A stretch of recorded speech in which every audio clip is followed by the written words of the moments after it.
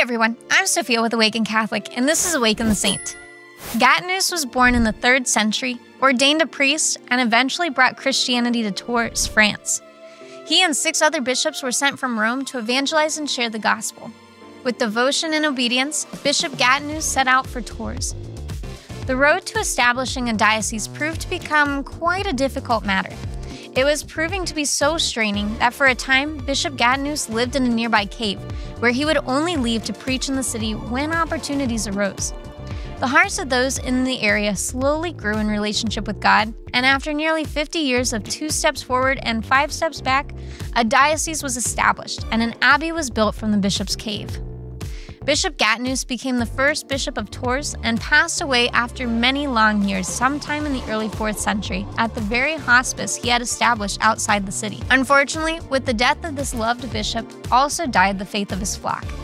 A new bishop wasn't elected to carry the torch he had fought so long to establish in Tours, and the diocese remained in the dark for the next 36 years. When a new bishop was finally appointed, there was hardly any Christians left in Tours. All that remained were stories of the beloved Bishop Gatianus, who it was said had brought the gospel they had no longer understood. Tours remained stagnant and lost faith until the arrival of another familiar face of our story, St. Martin of Tours. He was able to restore the faith of Tours after he was elected the next bishop. It may seem like today's saint didn't do his job properly as a shepherd. At first glance, it appeared that he showed up to a foreign land and became simply another influencer who didn't actually ignite the faith of the people. He failed. His mission was a bust. And his only legacy was that the people of Tours at least remembered the good bishop. The truth is, he actually did exactly what God needed of him. St. Gatianus did the work of a humble servant and laid the foundation for a vibrant diocese of faith. Even if his death was accompanied by a dormant diocese, they never completely lost the flames of faith. This saint became the small kindle that might have died down to embers, but even the embers are just waiting for the right kindling to regain the flame.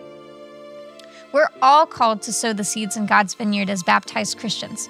Sometimes the ministry that we run or the various efforts of evangelization are met with what seem like failure for a time.